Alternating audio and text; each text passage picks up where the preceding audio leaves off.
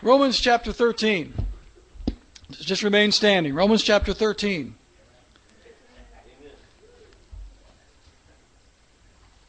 All right, this is message number three. And there will be one more, and that will be next Sunday.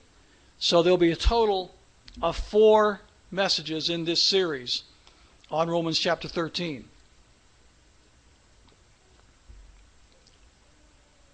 All of these are online and they can be viewed for free. And if somebody wants to download them either on an audio file or a video file, they can do that for a small cost. And when we finish this series, uh, I'm going to get with these guys and see if perhaps we can get this on a DVD for people as well, because this this series has got to go out uh, to to the country, and um, so help help us promote that. Feel free send people to the website chuckbaldwinlive.com, and they can download this and they can view this. And I hope that many many people. Well, we've already had a lot of people that have that have downloaded copies, and uh, more are doing that every day.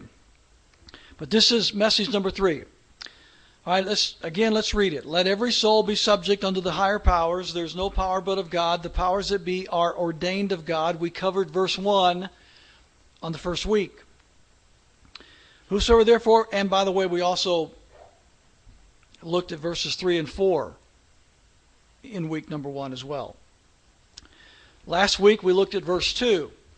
Whosoever therefore resisteth the power resisteth the ordinance of God, and they that resist shall receive to themselves damnation. We will revisit that verse next week. For rulers are not a terror to good works, but to the evil. Wilt thou then not be afraid of the power? Do that which is good, and thou shalt have praise of the same. For he is the minister of God to thee for good. But if thou do that which is evil, be afraid, for he beareth not the sword in vain, for he is the minister of God, a revenger, to execute wrath upon him that doeth evil. And we talked about both of those verses in in uh, week one quite a, quite extensively. Every injunction throughout Scripture uh, telling us to submit to God ordained authority also includes a description of what God ordained authority is. And we see that here in this text in verses 3 and 4. Now, verse 5 is going to be our text for today. Wherefore you must needs be subject, not only for wrath, but also for conscience sake. Let's read that again. Wherefore you must needs be subject, not only for wrath, not only because you're afraid of the wrath of disobedience, but also for conscience sake. All right, you may be seated.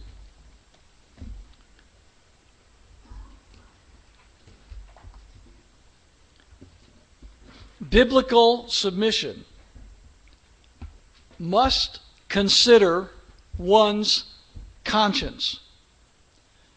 One of the philosophers of the founding era said this Conscience supposes a knowledge of the law, and particularly of the law of nature, which being the primitive source of justice, is likewise the supreme rule of conduct. Close quote conscience, reasoning, the thing that separates the individual person from the animal kingdom. We are created in the image of God with a body, soul, and spirit. It is this distinction that separates us from the rest of God's creation.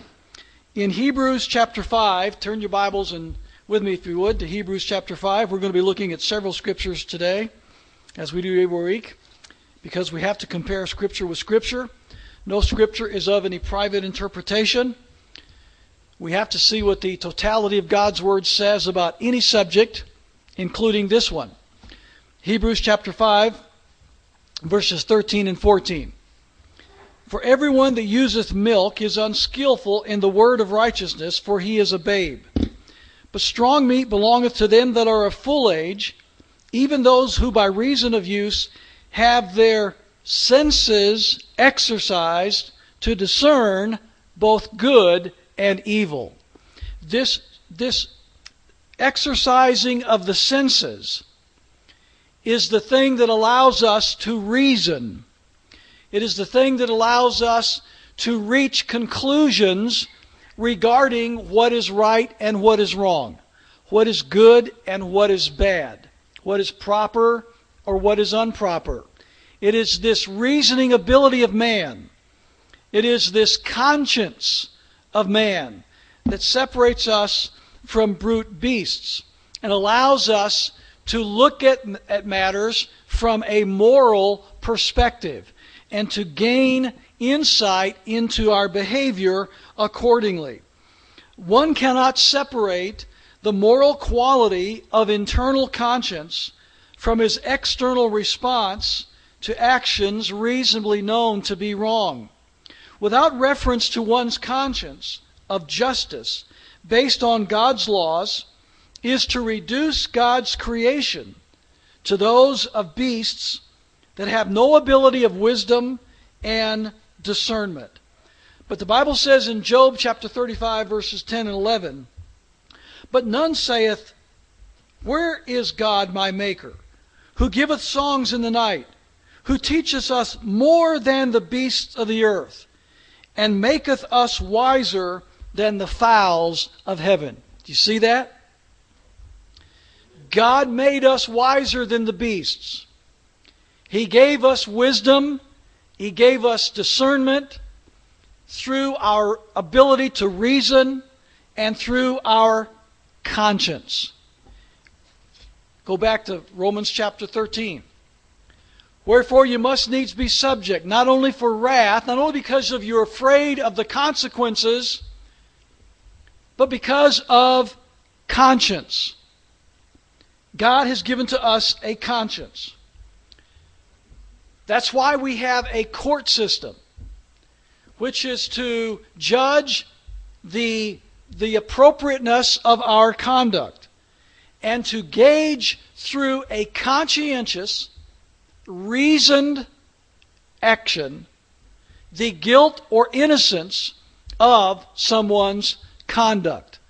If we were but brute beasts, if we were but animals without conscience, without the ability to reason, there would be no need for a court of law. There would be no need for a justice system. Everything in our society is predicated upon the fact that as men and women, we have been given a conscience. And as a result, we are held accountable for how we conduct ourselves according to the moral laws of God's natural laws. Let me give you an example. The we all know that animals will oftentimes kill other animals for food, and uh, so I, I, hear a lot of these uh, naturalists uh, talk at length about that and the cycle of life and, and all that. I'm not here to argue that, but have you considered have you considered this? It is a fact of nature that many times a male lion, after a lioness will just give birth to her cubs, in order to force the lioness to become available to his sexual advances on her will eat, or actually, let me rephrase that, will not eat, but will kill the cubs. Kill the cubs. Not for food, not for survival, but simply to force the lioness to go back into a state whereby she will entertain his sexual advances. Now, that kind of activity goes on in the natural kingdom every day. In various animals, in various circumstances, to various degrees. Now, no one holds that male lion accountable for that conduct. No one seeks to hunt out the male lion that has just brutally and heartlessly, cold bloodedly killed his own offspring. Not to survive, not to, uh, not to uh, eat so that he can live, but simply to enforce a, a, a, a natural law by which he can go ahead and copulate with the lioness again. But no one holds the male lion morally accountable for that action. Why? Because he's an animal. He lacks soul and spirit. He lacks the inner consciousness which God has given to mankind. Now, what would society do with a man who would conduct himself in that manner? What would we do with a human being who would kill his own offspring, who would cold bloodedly murder his own offspring? Would there not be accountability? Would there not be a societal reaction to that conduct? And would there not be a court action to hold this individual accountable for what society knows to be immoral conduct. Why don't we do that for the lion? Because again, God has made man in his own image with a conscience with a, a reasonable ability to understand, to adjudicate justice, and to know the difference between right and wrong. It is manifest enough, according to the philosopher Hobbes, that when a man receiveth two contrary commands, and knows that one of them is God's, he ought to obey that, and not the other, though it be the command even of his lawful sovereign. Close quote. If you are given two commands and you know that one is lawful according to your conscience, and you know that the other is unlawful according to your conscience, which law are you obligated to obey? The law that is lawful according to your conscience. Because God has given to every man a knowledge of good and evil a knowledge of right and wrong, and that is called natural law. And so we know instinctively that certain things are wrong and certain things are right. Certain things are evil and certain things are good. And we are responsible to conduct ourselves accordingly. In Romans chapter 13 and verse 9, thou shalt not commit adultery, thou shalt not kill, thou shalt not steal, thou shalt not bear false witness, thou shalt not covet. And if there be any other commandment, it is briefly comprehended in this saying, namely, thou shalt love thy neighbor as thyself. In this verse, God's commandment that it's unlawful to steal necessarily confirms private property rights. Amen? It, it, it, it infers that God has appropriated the rightness of private property rights. If, if God has said in His Word Thou shalt not steal. It infers that a man has a right to be secure in his person, in his property, in his effects, in those things which are his.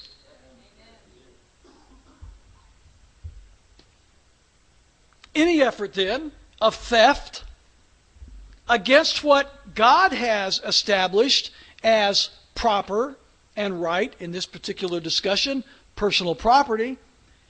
Any one or anything, including government, that steals what rightly belongs to a man has violated the moral conscience of God. If individuals do not have the right to steal one another's property, then a collection of individuals, known as government, does not have the right to steal one another's property.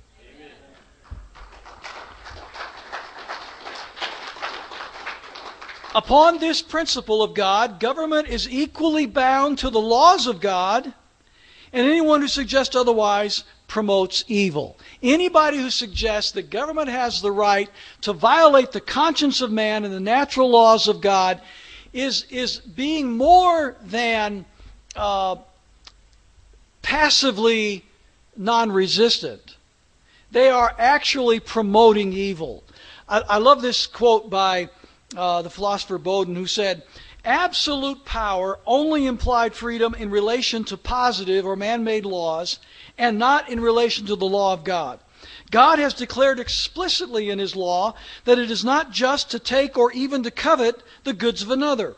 Those who defend such opinions, that the prince is not bound to the law of God, are even more dangerous than those who act on them because they show the, law, the lion his claws and arm princes under a cover of just claims. Close quote. In, in other words, the people and the preachers across America today who allow the would be tyrant to usurp the rights of man and the just laws of God are in many ways worse than the tyrant because without the complicit conduct of the citizenry, and especially in our day and time, the preachers, the tyrant would not be able to accomplish his evil machinations. So it's more than just toleration, it's more than passivity. It is, it is, a, it is a equal guilt in crime committed and, and that's what's happening today uh, throughout America, is people are facilitating the improper conduct of those in a position of, of, of power or authority, and thus allowing them to abrogate the natural law principles of God, which is an affront not only to the conscience of man, which God created. It is, a, is an affront to the very conscience and heart of God because we are made in God's image. Can you say amen there? Upon this same principle, God similarly demands that society's currency and commercial system be just. You say, you mean you can have a just, you mean, is there such a thing as a just money system? Is there such a thing as an unjust money system? You bet there is. If there is such a thing as stealing and thievery and misappropriation of monies, etc., then that necessitates an unjust system of, of monetary uh, uh, expenditure or, or uh, even the attainment of such. Either way, it's unjust. Well, if something is unjust, then there has to be a counter to that. There must be some, if something is unjust, then something must be what? Just. If there is an unjust system, there's got to be a just system. And what does the Bible say? Leviticus chapter 19 and verse 36. Listen to this. Just balances, just weights, a just ephah, and just hin shall ye have. I am the Lord your God, which brought you out of the land of Egypt. Just weights just balances, just money. And, and we'll, we'll talk about this in the weeks to come. But another real problem that we have, uh, not only in America, but all over the world, but, but, but let's talk about America. One of the real problems that we have today is that we are, uh, many times, our, our powers that be in the, in the commercial world and in the political world, and yes, even in the religious world, are facilitating an evil money system. An evil money system. And we are laboring under this evil money system, this unjust, unequal, out of balance money system that is producing many of the economic problems that you and I are dealing with today. A lot of it has, it's, it's not near as much to do with whether it's a Republican or a Democrat in the White House or the Congress, and it has more to do with the acceptance by Main Street as well as Wall Street with an evil, corrupt money system. And uh, we can thank a lot of that to the Federal Reserve System that we're now dealing with. I'll just say it point blank. The, e- the Federal Reserve System is an evil, corrupt monetary system.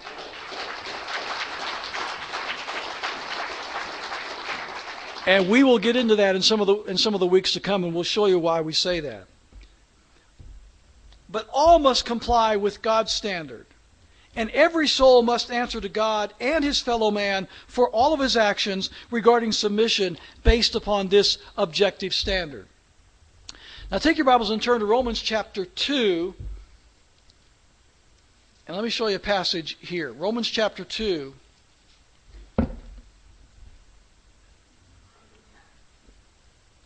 Verses 14 and 15.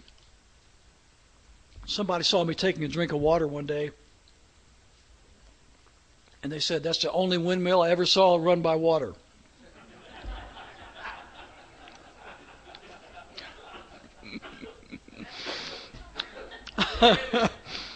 Romans chapter 2. Look at verses 14 and 15. For when the Gentiles which have not the law, underline that, have not the law, do by nature the things contained in the law, these, having not the law, are a law unto themselves. Verse 15. Which show the work of the law written in their what? Hearts, their conscience. We're talking about being subject to the higher powers, not only because of fear, but also because of conscience. The conscience must submit. The conscience must recognize the rightness of that law. Show the work of the law written in their hearts. Their what? Conscience also bearing witness and their thoughts, the meanwhile, accusing or else excusing one another. God has written in our hearts the natural laws of God. Whether there was a law prescribed by man or not, right is still right and wrong is still wrong. Amen. It is wrong to steal from one another, whether there is a law prohibiting it or not. Why? Because there is a law written in our hearts. There is a law in our conscience that says it's not right to steal from my fellow man. Okay? When human laws refute natural notions of justice, those who submit to those laws place that human institution above the authority of God. If you tell me that I must submit to an unjust law when my conscience tells me this is not a just law, not deserving of submission, you are saying that the law is a higher power than the Creator who gave law to man. Now, think about this matter of the natural law before the written law. Uh, my mind goes back to the Old Testament story of the book of Cain, a book of Genesis, the, the story of Cain and Abel, the first murder in human history. Cain killed his brother Abel. You all know the story there was no written law when Cain killed Abel. Right? There was no Ten Commandments. There was no U.S. Constitution or Montana Constitution or Bill of Rights or Declaration of Independence or Magna Carta or Articles of Confederation. There was no written law but Cain killed his brother Abel in a premeditated homicide. And what happened? God put a mark on Cain identifying him as a murderer, meaning there was a, a justice system in place where God held Cain accountable for his homicide even before there was a law that was written down that said, Cain, thou shalt not kill. But Cain knew he shouldn't kill. Why? Because there was a law written where?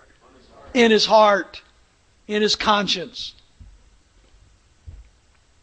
Since man cannot serve both God and man, this inevitable conflict always forces people to choose between following God or unjust government. The crux of such choice naturally being defined by the righteous laws God created for our good, juxtaposed to the unjust laws government creates for our destruction. God universally gave to the human race a conscience not to slavishly obey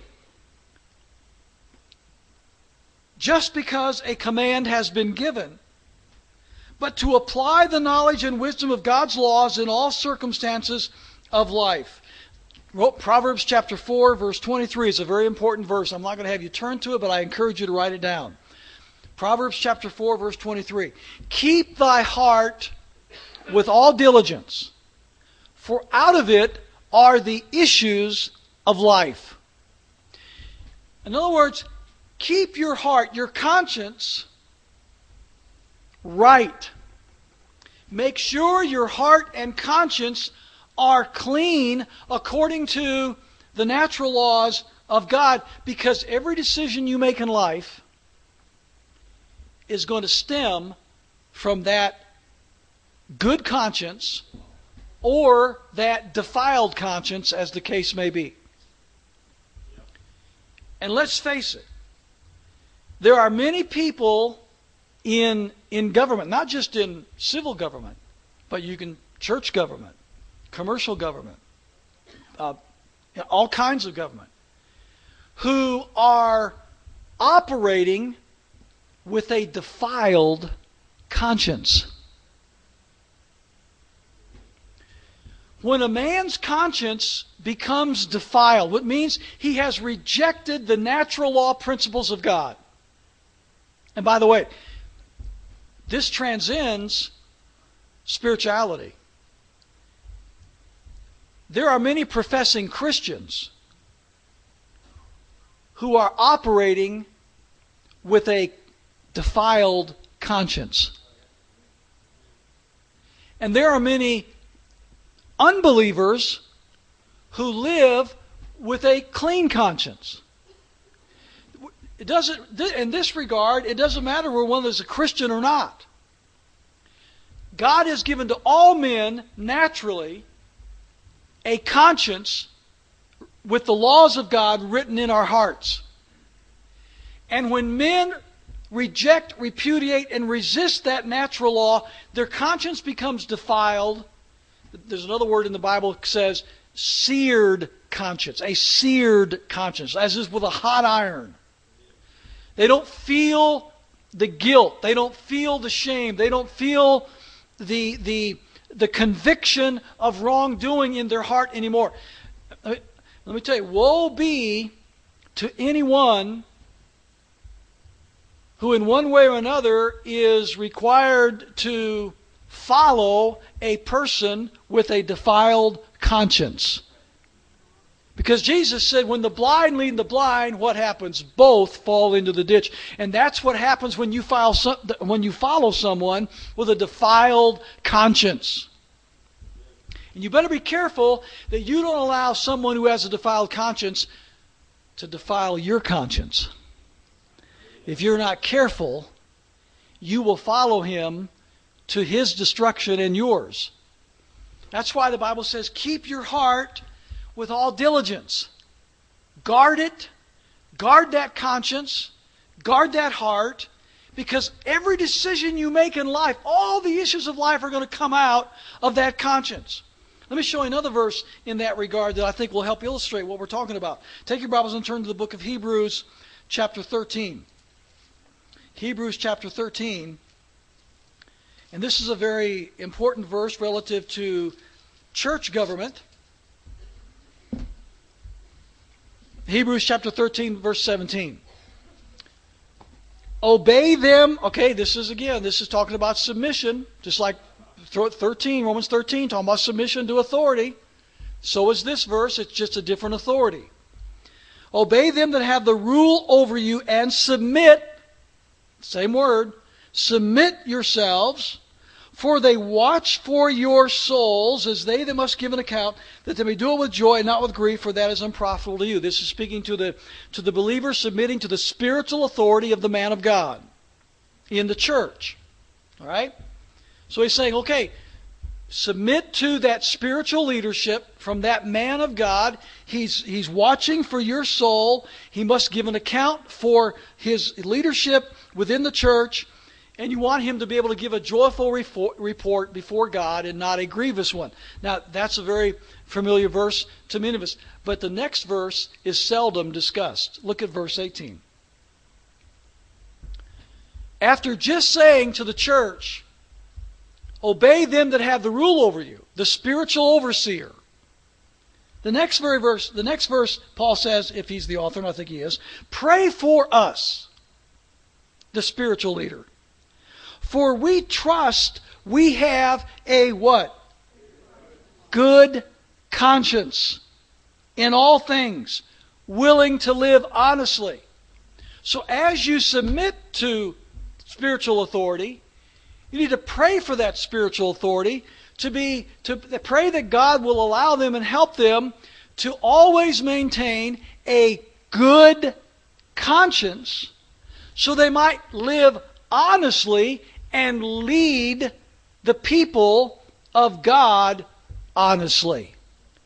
Well, this indicates, or at least infers, that it's possible for spiritual leaders to have a corrupt conscience and their conscience seared and defiled, and therefore not live honestly before the people, in which case, should you still submit? Should you still submit? Then why should you still submit when the civil authority does not lead you in good conscience and in honesty?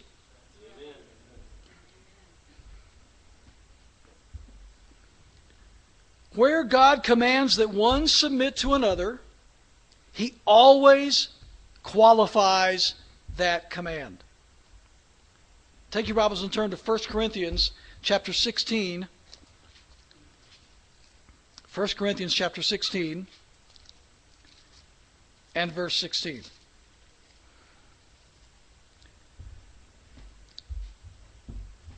You got it? That ye submit yourselves unto such. Submit, same word, same Greek word. Submit yourselves. Hebrews 13 1. Submit to higher powers, same word. Submit yourselves unto such, and to everyone that what? Helpeth us and laboreth. Submit to the person that helps us. It's not a blanket, universal, unconditional command in, in, in chapter 16 of verse 16. Chapter 16. It is a conditional command. Submit yourselves one to another unto the ones that labor, unto the ones that help. What about the ones who destroy? What about the ones who harm? Are you supposed to submit to them? That's not what he said. And what did he say? Back, go back to Romans 13, our text. What did he say in 13? Submit every, every soul subject to the higher powers. All right, verse 3 Rulers are not a terror to good works, but to evil. There's your qualification. Verse 4 He's the minister of God to thee for what? Everybody. For what? For good.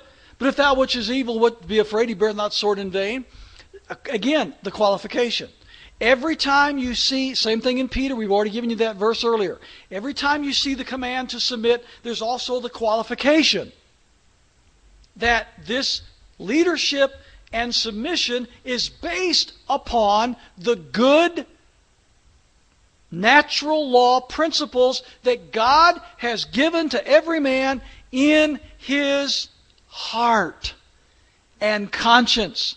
That's why in verse 5 that you should needs be subject not only for wrath, because of fear of wrath, but also for what? Conscience sake. Take your Bibles and turn to 1 Timothy chapter 1. 1 Timothy chapter 1 and verse 5. 1 Timothy chapter 1. Now, the end of the commandment is charity out of a pure heart and of a, there it is again, what? Good conscience. Good conscience. The end of the end of the commandment.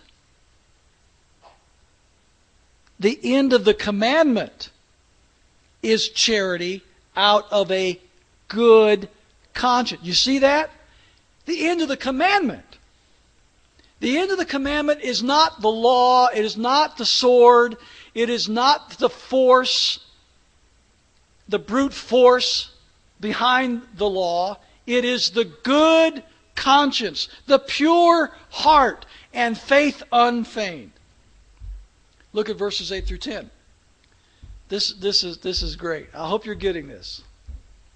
I hope, I hope I really do. Write this down, revisit this. When you're talking with people, these uh, Roman thir- Romans 13 misinterpreters, uh, look at this. But we know that the law is good. Period. Period. Right or wrong? If a man use it, what? Lawfully. So if a man does not use the law lawfully, is the law good or bad? Tell me. Absolutely. The law is good if a man use it lawfully. Same thing's true in our country today, uh, my dear people. The Constitution is good if the powers that be use it lawfully. But there's a lot of people in government today that are misusing the Constitution. They're not using it lawfully, they're abusing it unlawfully. And when they do so, their law that they try to coerce and force upon us is not constitutional, regardless of what the Supreme Court of the United States says. Amen. That's why we need a governor, and that's why we need a state that'll be willing to do what Jan Brewer did down there in Arizona, but take it one step further and say, we don't care what the Supreme Court of the United States says. We in Montana or Arizona, we are going to do what is right and what is lawful according to the laws of this state.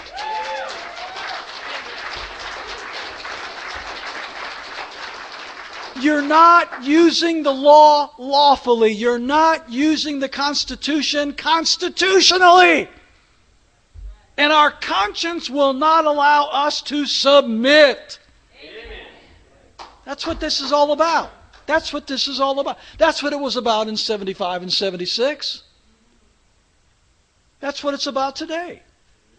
Verse 9 Knowing this, that the law is not made for a righteous man a righteous man doesn't need the law. A righteous man who is led by the laws of God, written in his heart, written in his conscience, he's not going to steal from his neighbor because his heart, his conscience won't let him do it. The law is made for those guys over there who have a defiled conscience and they're going to steal every chance they get. For the ungodly, for sinners, for profane and murderers and so forth. For whoremongers, verse 10, for them that def- defile themselves with mankind, for men stealers, for liars, for perjured persons, and notice, and if there be any other thing that is contrary to sound doctrine. when the law is used unlawfully, it is by definition not ordained of God. And one's conscience would and should require him not to submit. This would be especially true when the authority would provide no means of redress in a meaningful and timely manner. Take your Bibles and turn to 1 Timothy chapter 1. We're right there anyway, verses 18 and 19. Let me show you this. This charge I commit unto thee, son Timothy, according to the prophecies which went before thee, that thou by them mightest war a good warfare, holding faith and a what? Good conscience, which some having put away concerning faith have made shipwreck, of whom is Hymenaeus and Alexander, and I could name a few myself. There is another verse relative to this, and that's in the book of Titus. Titus chapter 1. These are the proteges of, of Paul, Timothy and Titus. And he's writing to both of them, and he says some similar things in, in each of these letters. In Titus chapter 1, verses 13 through 16, I, I, I like the way he says it here even better. We looked at these verses earlier in a previous message, verses 10 through 12. Verse 13, this witness is true. What is that? The Cretians are liars, evil beasts, slow bellies. Remember, we talked about men reducing themselves to the stature of beasts through their hardness of heart to the laws of God. Remember that? And, and men ruling the powers that be ruling as brute beasts. What? How does a brute beast rule? By brute force. I was uh, well, I was excited when one of the I hadn't been here in Montana very long, and I was driving up the the, the mountain uh, to go to our home, and and I, have been taking a camera with me uh, going up and down because I'm seeing wildlife everywhere and I just love I love it. And so I'm taking pictures all over the place. And this one day I didn't have my camera. Oh, wouldn't you know it?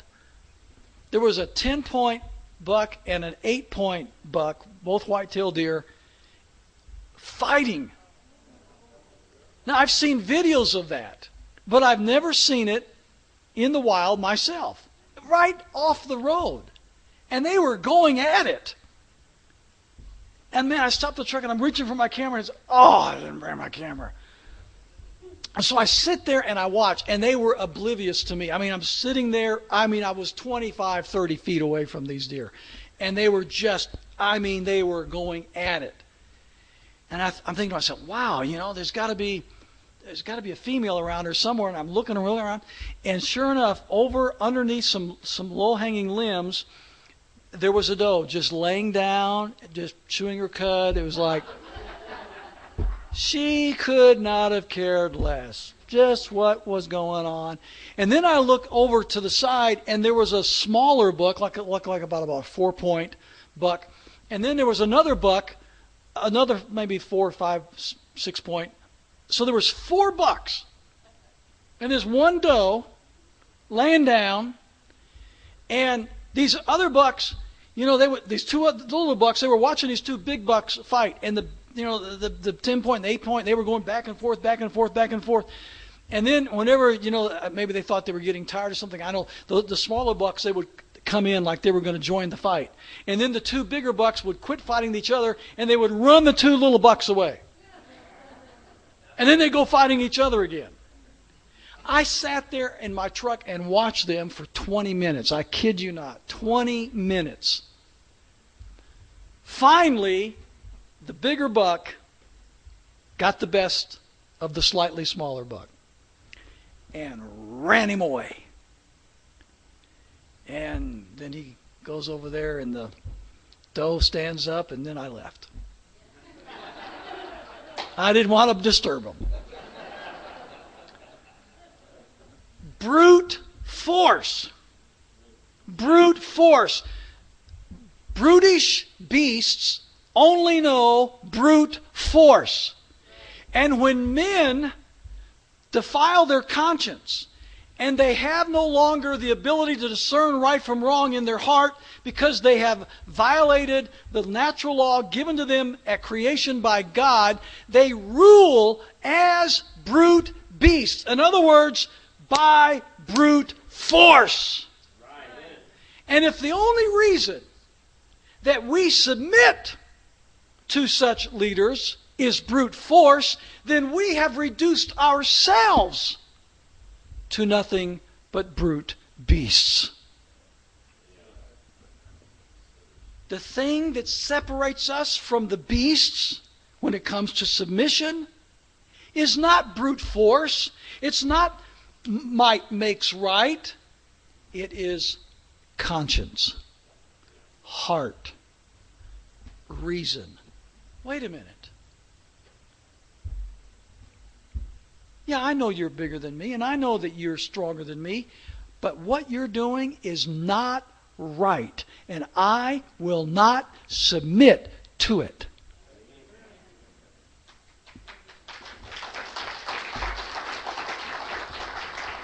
That's what makes men men. And that's what makes subjects citizens.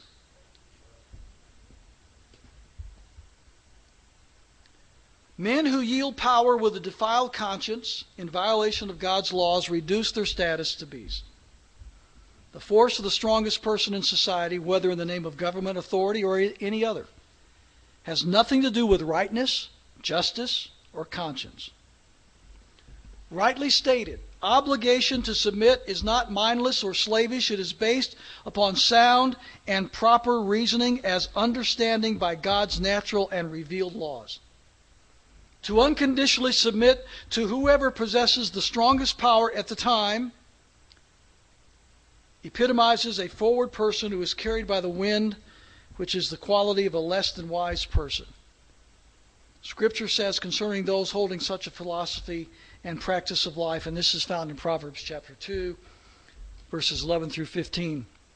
Discretion shall preserve thee, understanding shall keep thee, to deliver thee from the way of the evil man, whose ways are crooked, and they froward in their path.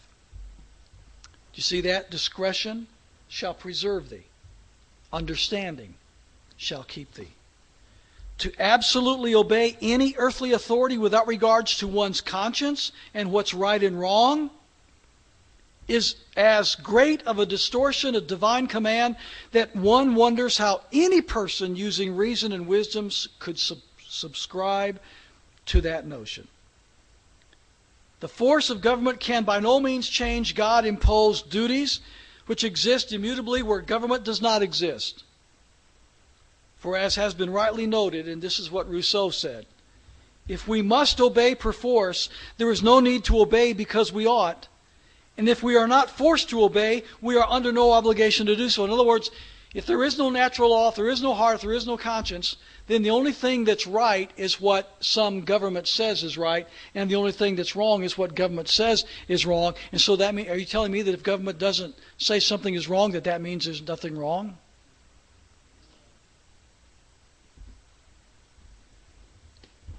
So in Cain's case, I guess God was unjust to banish him and punish him because there was no law that said, Thou shalt not murder. Right?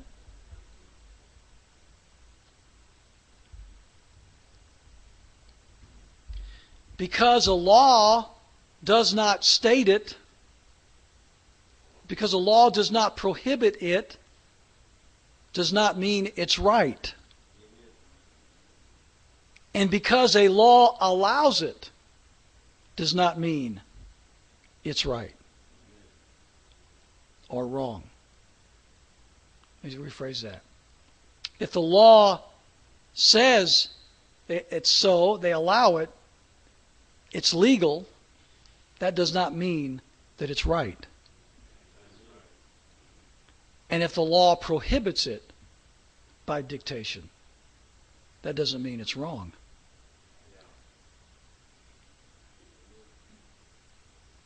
It must bear witness with a conscience inbred by the very nature of God.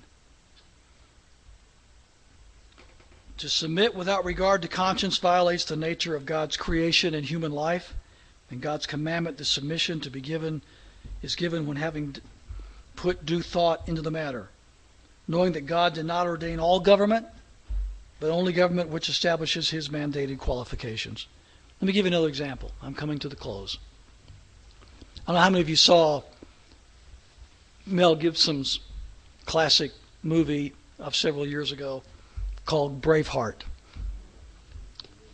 In my opinion, it's a fantastic movie. I know there's a few scenes in it that I don't care for, but on the whole, is a classic film which depicts the inbred natural right conscience of man to live free. Do you remember the part when the king resurrected an old, and this is based on history, as was the film itself. When he resurrected the old medieval custom of just prima noctis, or in, in the English, that's the Latin for the law of first night. Night, N I G H T, not K N I G H T.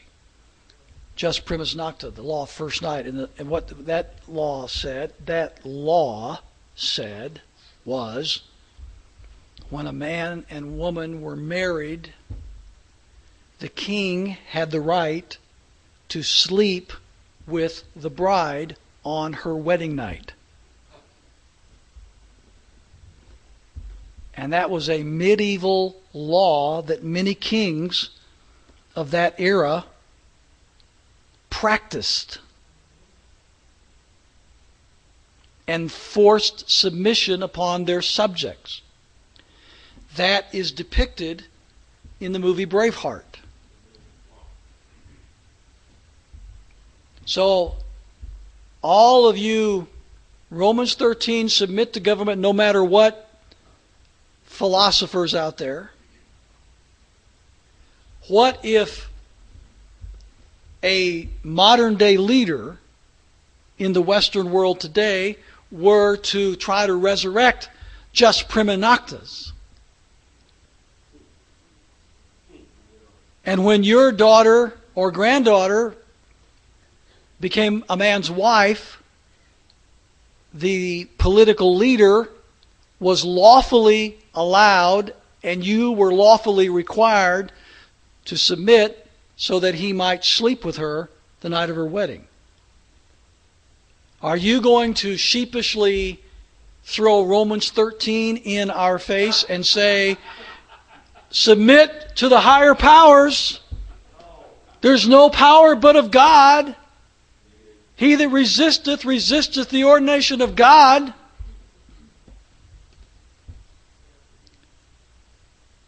And if anyone would claim such an absurdity, how many of us would respect that person even that much? You see, the absurdity of trying to base a scripture upon something other than the divine principles of God's Word well established throughout the entire body of Scripture.